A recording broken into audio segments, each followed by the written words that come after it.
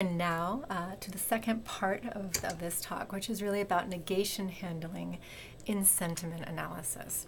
So, what is that, right? Well, here is the problem with negation in sentiment analysis. This is an actual product review uh, from the Amazon Product Reviews corpus. Uh, this is what it says. This product truly did not live up to the expectations, semicolon, or advertised results. Will not repurchase, do not recommend it, right? So, my question to you, as a, a, fully functional adult human, and this is the sentiment analysis part, do you think this is more likely to be a five star positive review, a three star neutral review, or a one star negative review? And uh, most adults are going to say that this is pretty negative review, right? It's a one star review right here. And the problem is that many state of the art sentiment analyzers actually say it's a positive review right? And you might be thinking to yourself, what? why? Why would why would you think this is a positive review? The problem is negation. So words like not are negation terms. And so the problem is the inability to correctly handle negation, which can drastically alter the sentiment expressed. Like imagine if you actually did nothing and you just ignored the nuts here. All of a sudden, this seems like a pretty positive review. This product truly did live up to expectations. Will repurchase. Do recommend it. That's sounding pretty positive, right? So, in, improper handling of negation can really mess things up, right? On certain kinds of reviews like these. And so there are two components to handling negation. And the first is to detect what's called the scope of negation, which is here in the light blue. That's what parts of the message get their sentiment altered by negation. So, usually things that are appearing after, though not always, uh, the negation term as we see here. And the second part is to resolve that negation, right? You want to update the sentiment of the language within the scope of negation, right? And, and fix it so it has the right sentiment, the intended sentiment. And so we're going to focus today on negation resolution since there actually seem to be some pretty good approaches out there for scope detection. The issue is more what to do about it once you've identified that something in fact needs to be done.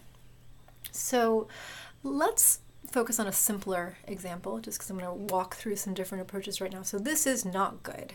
Okay, we have negation, we have the sentiment word good, uh, which needs to be resolved. And so Considering current symbolic approaches, many of them rely on a sentiment lexicon that provides the, the base sentiment score, usually, say, for example, ranging between negative 1 and 1 uh, for words and phrases that are in that lexicon. And this is just a list of a bunch of different lexicons that do that. And the sentiment is what gets altered if it's in the scope of negation. So the base sentiment of good, I'd say in one of these sentiment lexicons would be 0.66, right? So it's kind of on the positive side of the world. And you want to alter that, right, if it's in the scope of negation. So there are several existing approaches to therefore altering that base sentiment score. And one of them is, is the simplest one, is just invert it, right? So if good is 0.66, then not good can be negative 0.66, right? That's kind of negative right? And the problem sometimes is that relative sentiment scores get messed up. So terrible in this same lexicon that told us that good was 0.66, so on the positive side of the world, told us that terrible uh, has a base sentiment of negative 0.7 on the negative side of the world. Nothing wrong with that. But if you invert terrible, not terrible, you end up with 0.7. What's wrong with that? What's wrong with that is that what you're telling me is that not terrible, in fact, is, is more positive than good, right? So if I say, wow, that's good, you have one impression. Wow, that's not terrible. You probably think it's not as good as good, right? And that's not what these inverted sentiment scores are telling us, right? So you can run into that kind of problem with inversion. Uh, so, an observation that some people made was that negating positive terms like good seems to involve a different amount of, of, sentiment shifting, if you will, than negating negative terms like terrible. So, for example, positive terms get more of a shift downwards. You go from good to not good, you're like down here, right? It's kind of, of bad, right? Uh, while negative terms maybe get less of a shift upwards. So, terrible, not terrible, maybe is still kind of negative, right? Doesn't get as much of a shift. So, this approach uh, is if implementing this is asymmetrical shift, you know, an asymmetry in the amount of shifting, where positive terms shift one amount and negative terms shift a different, lesser amount, typically. Uh, another observation that people made was that a term's base sentiment score may not actually capture all the components necessary to accurately compute its negated sentiment score. So, one solution was to say, well, maybe what we can do is leverage a term's antonym, right? So bad is the opposite, the antonym of good. And because an antonym is likely to be more closely connected to the nuances of that initial term's meaning. And we can therefore use the antonym's base sentiment score as the negated score for the original term. So good's antonym is bad, so you have a base score of negative 0.5, so therefore not good can have a score of negative 0.5, where good had a base sentiment of 0.66. Now this is great. Um, the problem, oftentimes, actually, is reliably finding a term's antonym. So let's look at the term recommend, which was actually in our original product review that I showed you. And if you try to look up what its antonym is in sort of a standard repository of antonyms, uh, like WordNet, uh, you can't find one. Okay, well, you say, well, you know, maybe we can look for synonyms, words that kind of mean the same thing, like urge and advocate. Well, neither of those has antonyms in WordNet and they're like maybe related forms like recommendation or urgency. Uh, and these antonyms are not in WordNet, right? So you can run into this problem kind of a lot, right? So it maybe is hard to find a term's antonym, right? But the idea that nuances of meaning may matter seems right. So one linguistic intuition that we had was that how specific a term's meaning is may impact how much it actually gets shifted. So if we consider these terms, good, nice, and beautiful, they actually are all pretty darn positive, right?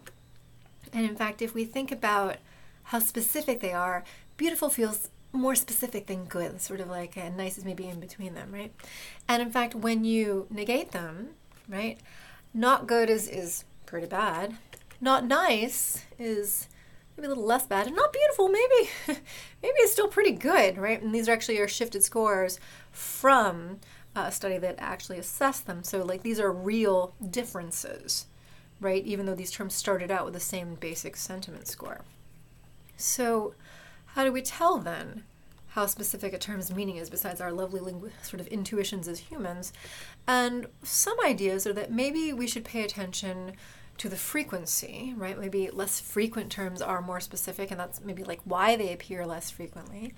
Uh, maybe we should also pay attention to the variety of contexts that these words appear in. Like terms that appear in fewer contexts may be more specific, they're only appropriate in certain contexts. That makes them more specific, right? So, frequency and variety of contexts. And we can have some heuristics that we might use to approximate them. So frequency, we can just maybe calculate from a, a, large enough corpus. In fact, the Amazon product reviews corpus has like 82.8 million reviews in it, so we can kind of get relative frequency of, of a term. Uh, and the variety of contexts we can actually approximate with the heuristic of inverse dispersion, which ranges between 0 and 1. And 0 means you have a uniform, uh, uniform excuse me, distribution across context, while 1 means you pretty much only appear in a single context, right? Like very not uniform. And this is actually calculated by summing the difference of the observed relative frequency of a particular term versus the expected relative frequency if there were a uniform distribution across contexts and you divide by two so you get a nice range between 0 and 1. But basically, how different are you from uniform? If you're not different, guess what? You're uniform. If you're really different, you're not uniform, right? So variety of contexts can be captured by this inverse dispersion measure.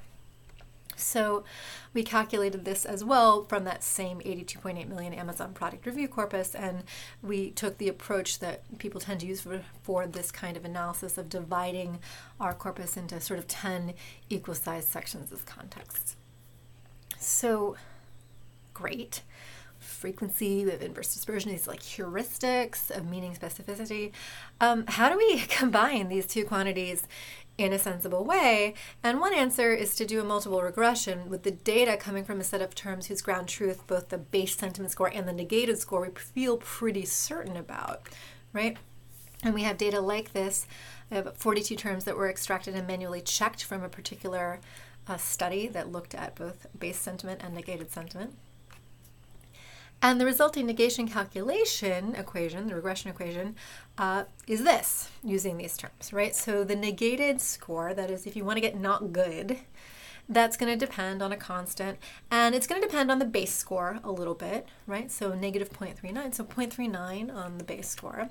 It's going to depend more on the relative frequency uh, of good and the inverse dispersion of good individually, right? About now we're in the twos instead of 0.39. And it's going to depend a heck of a lot more on the interaction of frequency and inverse dispersion, like two orders of magnitude more, right? But you know, but this is what we can use to sort of approximate, right? Incorporating meaning specificity into that negation resolution process, right? And so something we did was like, okay, let's do a sanity check. Does adding in this heuristic meaning specificity information help us at all at this negation resolution, like getting that negated score? And information theory says that if we use this meaning specificity approach, that is this, these heuristics, right, of frequency inverse dispersion and their interaction, when trying to calculate the negated score, given the base score, good things happen. We find information gain, that is a decrease in entropy compared to not using meaning specificity information at all, right? Just using the base sentiment score. And we in fact find 4.2 times the information gain compared with using just random meaning specificity values. So like in fact calculating them correctly is probably a good idea, right? And get information gain from that. So information theory says, yes, this is not crazy. And we also did an exploratory decision tree analysis where we forced the maximum depth of three to kind of find like the top three features one might use. This also showed information gain when relying on the meaning specificity features, so frequency, inverse dispersion, and their interaction, as opposed to just base sentiment score. So, like, not crazy to think that this might get us some mileage. So, therefore, let's try our meaning specificity approach in an actual pipeline that involves negation resolution, where the goal is to classify a product review involving negation as either positive, neutral, or negative. And we can compare it against all the other approaches I talked about inversion, asymmetrical shift, and the antonym dictionary approach, as well as a baseline of like literally doing nothing when encountering negation, right? Like, like it doesn't get much worse than that. You just ignore it. And so remember then that there are two key parts of a sentiment analysis pipeline. The first is to detect the scope of uh, negation, like what needs to be resolved. That's all the stuff in the blue. And as I said, there are several state of the art methods for doing this. Uh, 4grams parse is a, a machine learning tool that was tuned to this sort of thing. And since we don't know, you know, a priori which will work best, we're going to just try them all out, right, in combination with our different resolution methods. And then, of course, we have the resolution, which is going to be one of these different options. And then, last part, we actually have to aggregate the different sentiment scores into one score for the entire review. And there are kind of two ways to do this. We can try flat averaging, just just average your scores, or aggregate structurally using a parse tree. Again, a priori, we don't know which one will work better, so eh, we'll use both of them.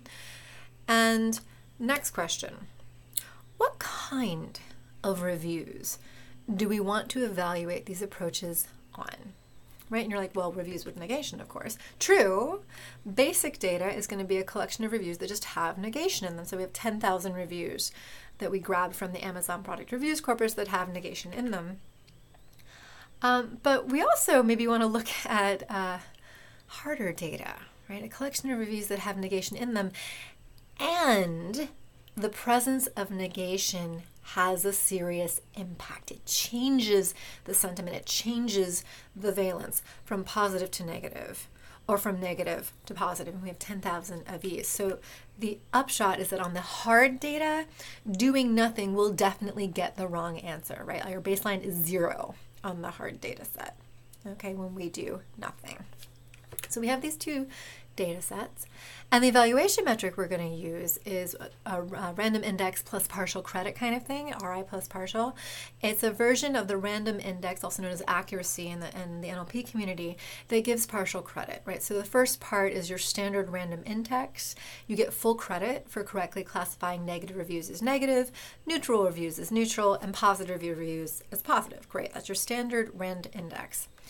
The second part is the partial credit part. We're going to give you half credit for classing, classifying negative reviews as neutral or positive reviews as neutral instead of completely getting it wrong and just come and swapping the sentiment entirely. And the reason we did this is we thought, well, it's not as egregious an error as classifying positive reviews as negative or negative reviews as positive. Like you, you got part way there. You didn't completely mess it up. So we're going to give you partial credit for that. So therefore, the evaluation metric is the combination of both the full credit and the partial credit uh, divided by all 10,000 classifications that you made. So here's what we found. So on the basic data set, where it's like you know, just a review that has negation in it, uh, the range of our RI partial thing, which ranges from 0 to 1, uh, the scores, the success, if you will, was between 0.557 and 0.638. You know, kind of like in the 50s or 60s. Uh, and in fact, the best performance was achieved by inverting, like the super simple thing, right? Like literally the simplest thing you could do. I guess except for nothing. But guess what? Doing nothing already gets you to 0.629 of this partial, this performance. So that may explain why the overly simplistic inverting approach does so well because handling negation cleverly doesn't get you much mileage in these basic cases. And you might be wondering, why is that, right? So here's an example of one of our, our basic data points that has an, that has negation in it. This is the negation word won't. It has that unt in there, which is a negation word. So this case is as cute as it is durable. Your phone sits in a rubber casing that fits very snug. Your phone won't be falling out. Okay, so let's look at here. So the sentiment words, really sentiment bearing words, are mostly very positive, and you have one negative one, like falling out, right? And that's under the scope of negation.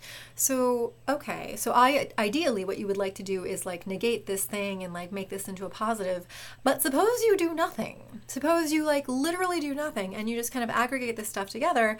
Well, a bunch of positives and a little negative is still probably going to get you positive, right? Which in fact is the right sentiment here. So, doing nothing can work pretty well if what negation is doing is not that important to the overall sentiment of the review.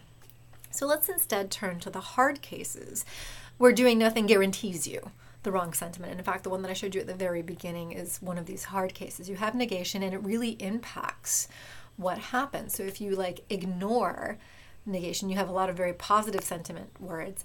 And in fact, you think, oh, hey, this is a positive review, when in fact, it's actually quite a negative review, right? So these are our hard cases. And here, we actually find a range of performance from 0.272 to 0.658, right? So much broader range already. And the top, the best performing approach is meaning specificity.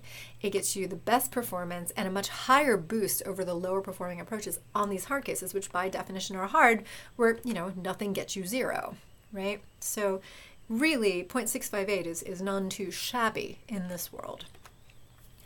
And so the takeaway then really is that for hard cases, where negation really matters, where where ignoring negation really is going to mess things up, it's going to be an egregious error to humans.